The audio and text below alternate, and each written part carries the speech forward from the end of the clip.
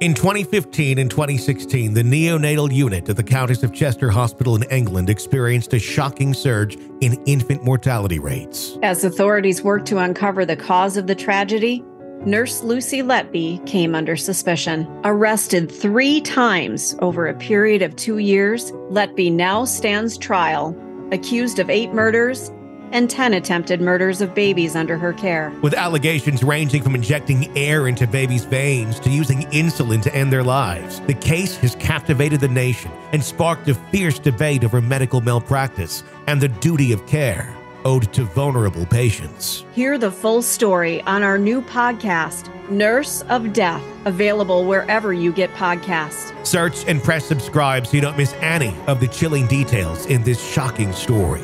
Search Nurse of Death right now and press subscribe where you get podcasts. This is the Hidden Killers podcast with Tony Brueski. So, Stephen Smith's body still to be exhumed. SLED already saying, yeah, it was a homicide, and we're going to start treating it as such. I applaud the work of Eric Bland uh, and his firm on this, convincing them finally to take this a little more serious. This is not going to be a conversation about implicating any individual in the murder of Stephen Smith, but more so a conversation about what sort of evidence may be out there, considering this has never been investigated as a homicide until now other than independent speculation this way and that way. Body to be exhumed. So we've talked about that a little bit. We've talked with some forensic experts on that, uh, speaking to the possibility of maybe there being some DNA, maybe under fingernails, things of that nature, with what we typically see with someone putting up a fight and with what we know now about Stephen Smith's death, or at least now that we have confirmed. I think we all knew this to begin with but that we have confirmed that this was, in fact, a homicide, not a hit and run. If he was attacked, if there was a struggle, there may be some DNA there. Maybe. There's going to be the question of contamination. There's going to be the question of was it all cleaned up in the process of getting his body ready for burial? Beyond that, what other footprints are going to exist eight years after a murder that was never investigated as a murder? Meaning there's not going to be all of this police evidence sitting in a locker somewhere that can be reviewed because it didn't happen. So, digital data 2015. It's like going way back in time, right? We should have like some Western music. In fact, I think we can do that. Let, we good? Okay, here we go. Yeah. Kids, sit around the campfire. Let me tell you about a time we called 2015. Yes, it was a whole eight years ago, but to you, it was a time of desperation, a time before VR, a time before AI. You see, we mainly used Facebook back then, you know, something like that. Anyway, um, what exists? What will still exist? What's going to be in a cloud? Clouds did exist back then. What's going to be on social media? Social media did exist back then. Um, we're talking past the MySpace era. We're talking mainly Facebook, Twitter. Uh, Insta was kind of in its infancy. Um, what is going to be out there? And for that, we are going to be talking right now with an expert in the area uh, that can give us some insight as to exactly what's going to be out there. Clark Walton is joining us. He's an expert in uh, forensics and digital forensic. He's the principal with Forensic Cybersecurity Expert Reliance Forensics. Clark, welcome to the Wild West. Uh, but I want to go right into that, Clark. Uh, what what's going to exist? What possibly could be out there all these years later? Yeah, so so sort of out of hand, one thing you're you're probably not going to be able to to look at or deal with is um, what you are seeing in some of the other cases that are publicly out there right now, which is the cell site or cell tower analysis data. uh, from the provider side. Uh, you know, saying that somebody was in a certain area at a certain time and pinged off a certain cell tower. Um, that data from the major providers is is generally not going to be available. You know, certainly not eight years out, um, and, and much much you know less amount of time depending on which provider you're dealing with. Um, the data that could be there uh, is you know any phones um, uh, that would have been in the possession of uh, either the decedent or somebody that may have been involved allegedly in in the the death of decedent um, that could still be out there, and so that could include you know if if the decedent's uh, family still has that phone from that point in time, that could be something that law enforcement could take a look at and potentially find you know um, media location data, uh, you know maybe giving bearing on other um, GPS or cell tower data that can be recovered from the phone mm-hmm. uh, that may give information about what you know where that individual was, what they were up to uh, in the moments leading to their death. Um, and certainly, if there are any targets of that investigation, if there are um, older phones out there uh, that could be analyzed for basically the same types of information, you know, location data, um, which would be GPS, which can be very specific, up to a couple hundred feet, uh, or, or, accurate to a couple hundred feet rather, or uh, cell tower analysis data, which isn't good for you know it's not good to put me at a certain pinpoint spot at a point in time, um, but it's good to put me in a general area at a certain point in time. Um, another interesting thing that that may be out there, uh, if there is a, a, target or targets in mind, uh, are uh, you know with with many types of like Apple phones now, for instance, you yeah. know you you buy a new phone, you get it out of the box, you transfer the data from your old phone to your new phone. Um, and many times, uh, certain types of data um, is preserved on the on the old phone to the new phone because it, it's transferring that data at sort of a whole database level. So all the you know your text messages, your contacts, um, certain other types of again maybe media and location information is being moved over wholesale. And so, you know, we're seeing now we're analyzing new phones that may have data from, you know, seven, eight years ago on them because as people get new phones, they transfer the data one to the next, and that data has survived from from many years ago. So that's something that that law enforcement may take a look at as well. Well, the issue with that is Stephen, I'm sure, hasn't gotten upgrades on his phone in eight years. So yeah, the decedent, sure, yeah, absolutely. Yeah, yeah. I was thinking more in terms of if there are, you know, suspects, targets in mind. Oh, I hear what you're saying. Okay, yes, yeah. yes. So uh, yeah, it, it's essentially, um, we'll just say because everybody's thinking it. Uh, if there's someone who is involved in this case, they may want to get rid of their phone around this point in time or destroy it. Uh, although that data is probably on the cloud, though, correct? Um, it depends. You know, iCloud came about. I don't have the exact date, but it's been mm-hmm. over ten years ago now. So sure. if people are using iPhones, then absolutely that that could be out there. Mm-hmm. Uh, if you set your your phone to do that, it's a much more common thing now this minute than maybe it was eight years ago. Sure. Um, and then if somebody used an Android phone, I mean that that has evolved over time too. Uh, but eight years ago, in my personal experience, I mean, we run a lot of phones through our lab uh, there wasn't much as much going on with the Android cloud-based data as maybe there is now. With something uh, of this nature, and it being that many years ago, uh, I know sometimes people do keep their devices. Sometimes they are just thrown away.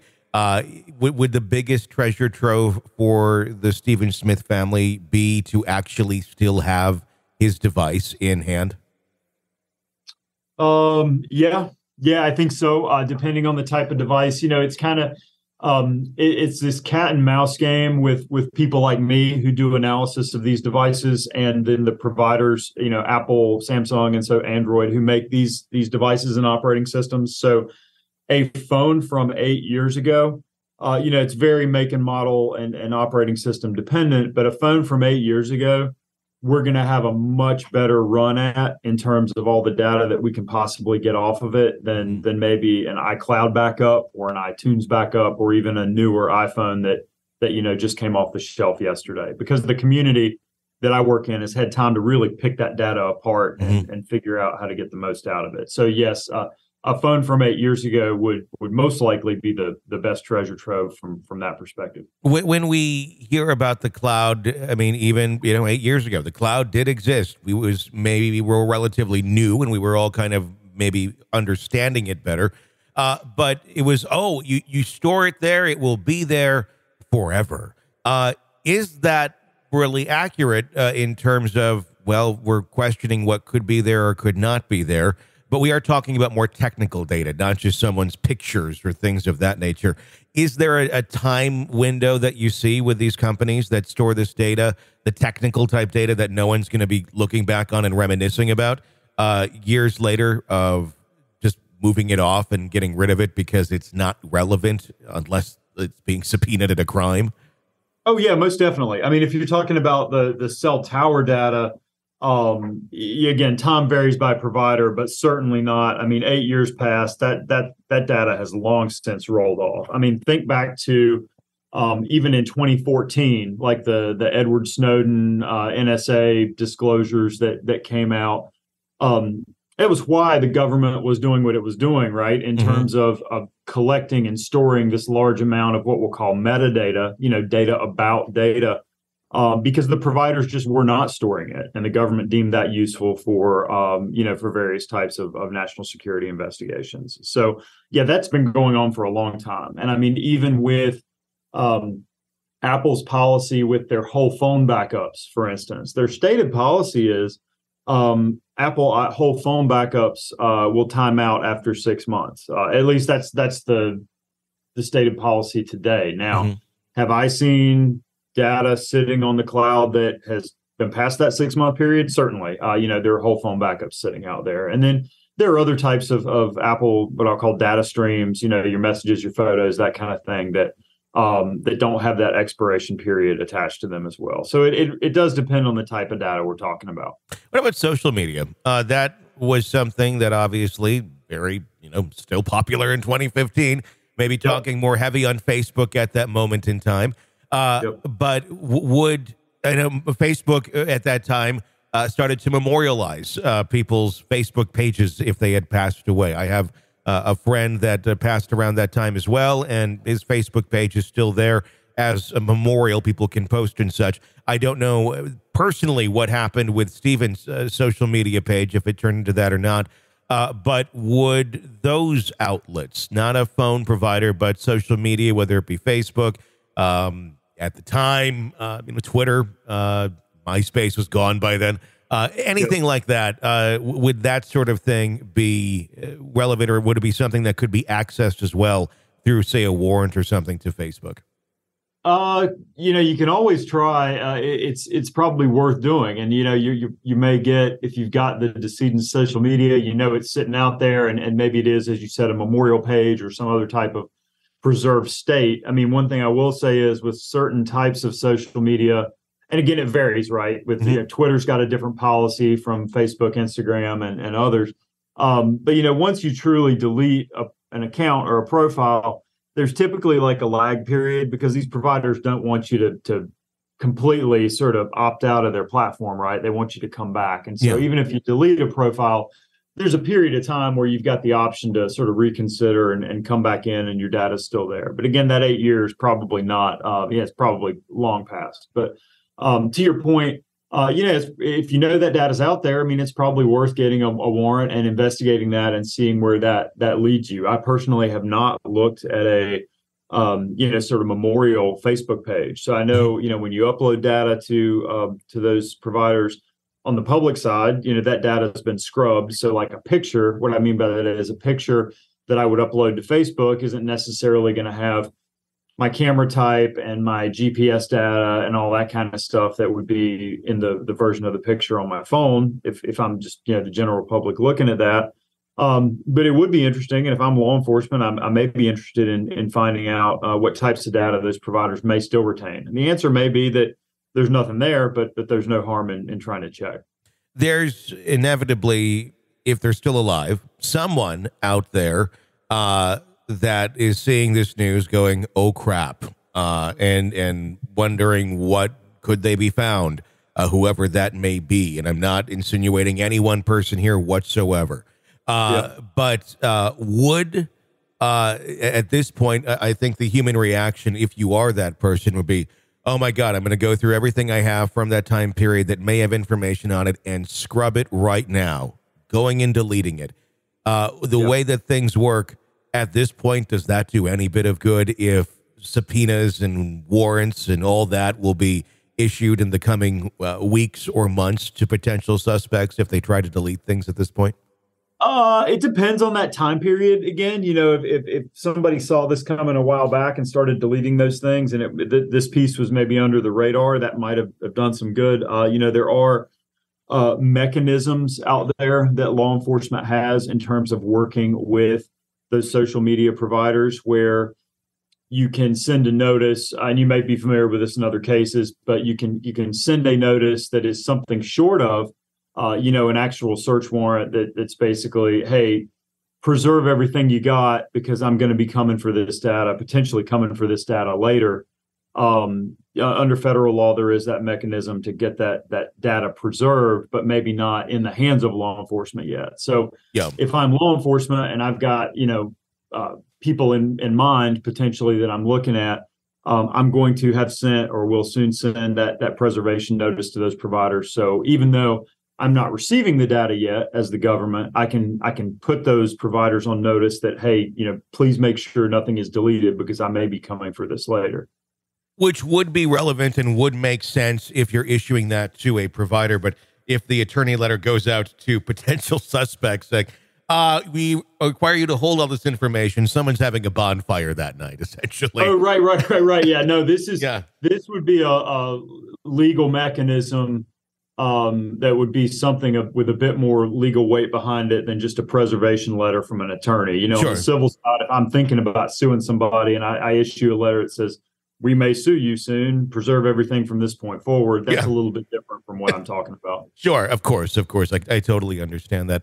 Uh, just uh, from your perspective of someone who works in this area, and I know your area is is digital and things of that nature, but if you're having a conversation with colleagues in law enforcement that are coming to you and they're asking for you to try and dig up this kind of information, just from a personal standpoint, working with other cases in the past, what else, even beyond the scope of what you look into, would you be suggesting law enforcement to look into in a case like this where the body's been gone for eight years uh, and you know there really was no investigation to begin with? What other angles if any can you think of for them to be looking into to try and find information about that time with stephen smith Gosh, yeah. I mean, I, have been trained for so long. I mean, I've been I've been running the company I run right now exclusively for about ten years, and so I'm always thinking about where are all of the electronics? Um, so you know, scraping up any any you know, laptops, hard drives, thumb drives. I mean, think about all the stuff you got sitting in boxes at home that that you've probably forgotten about. Um, those are the kinds of things I'd be thinking there. Um, to your point about the cloud, I mean, people forget. Uh, you know, I've got an old email address from from 20 years ago. I hardly use um, that. You know, when you're thinking back that far, I mean, it's like interviewing any when I go to interview custodians in a case, and when I say custodians, I mean like people who hold information or hold data, there's always going to be something else. So you start talking to those people about, you know, what what phones did you have? What email addresses did you have? What what kind of computers were you using back then? and you get through the first pass and you start looking into that and you say hey wait a minute you know what is this yahoo account i keep seeing or what is this other thing i keep seeing and they're like oh yeah i forgot about that one let me go back and, and you know get you access to that and so um, that process the investigative process you know whether it's the on the electronic side um, or if i'm a you know an assigned detective on the case just trying to talk to people and figure out who else knows what um, going through that multiple stage process is sort of jogging people's memory looking at the evidence you do have, uh, following up on those additional leads because there's that long ago, you know, some people are not going to remember things that they were doing that at the time may have not struck them as particularly relevant. Um, but uh, you know that that investigative process of just continuing to loop back and and dig for more information is going to be really important. And to Stephen's parents, I mean, they're they're only going to know so much because you know a parent only uh, oftentimes knows so much as to what their kids are saying that they're doing getting in with Stephen's friends and such of the time, I'd assume would be another very powerful way of going, How are you communicating with him at the time? Not even necessarily about the content in that conversation. Certainly, that would be another conversation to have, but just the logistics of what were you guys using to communicate around that point in time? So maybe they could even look into maybe still active friends accounts and such where maybe those messages were coming and going from because that information could be potentially stored eh, by a third party, maybe not in whole for all of his communications, but certain communications with certain people would or could possibly still exist if those people are still alive. Oh yeah, totally. Um, and that that's a good point uh, in terms of let's say his phone is no longer there, but you you know who his friends were, and you go out and start following up with them, or maybe even you look at that memorial Facebook page and see who uh, they were communicating with around that time, and and law enforcement starts talking to those people, and one of them says, "Oh yeah, I've got my you know I've still got my phone in a drawer from from ten years ago, I know, or eight years ago, I know it's got communications with him on it." Um, you can sort of reverse engineer uh, to some extent some of those communications that that are maybe on the phone that's gone if if the decedent's phone is actually gone um, and, and, piece together through third parties some of the data that you may have otherwise gotten on that device that that's just nowhere else at this point. Interesting way of looking at it to try and, and find that data and in areas that likely have not been looked at because this was never a criminal matter and nothing was ever subpoenaed or uh, or had any sort of warrant uh, for search uh, in it in the past. Right. No, that's right. So there could be a whole trove of stuff just waiting out there as that investigation uh, finally gets underway. Yep. This is an examination of the hidden human condition. This is the Hidden Killers Podcast. The Hidden Killers Podcast. With Tony Brueski. Clark, thank you so much for your insight uh, into this. Uh, I want to uh, continue our conversation as well. I want to talk about Bryan Kohberger a little bit. That'll be coming up on the feed and about some of those digital forensics that uh, we know about and maybe some things we're not even thinking about. We'll get it from uh, Clark's perspective in just a few moments. Press subscribe, like I said, wherever you download podcasts. You don't miss this. You can get a commercial free version of the program by going through Apple Podcasts and signing up there. You can even try it for three days free. We appreciate that support. My name is Tony Brueski. Stay with us.